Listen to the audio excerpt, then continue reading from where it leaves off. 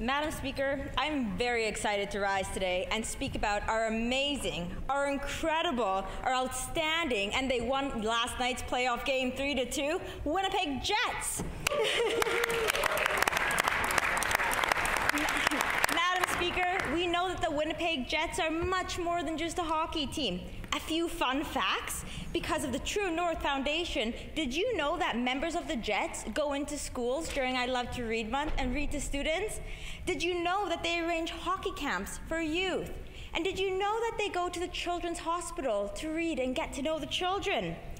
Madam Speaker, we need to acknowledge that our team is the best. They're amazing players. Their families are fantastic, and all of our fans, we sure have a lot to be proud of.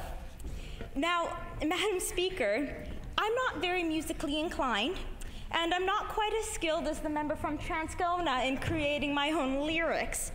However, yesterday I heard something from our friends at 103 Virgin Radio, and I could sure use the help of my colleagues here in the House by saying, Go, Jets, go!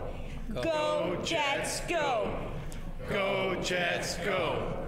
From the north end to Old St. B, throw them hands up go. and dance with me. Go, Ask Jets, go. around and they know Peg City. Jets, go. Ask around and Go, say Jets, Peg go. City. Everybody chanting, Jets, go. Go Jets, go! Four lines Go. deep everywhere we roll. Jets. Ask around and we know what's Go, good and say. Peg City. Go, Mic drop. go. Thank you, Madam Speaker. Thank you, colleagues. And good luck to our go.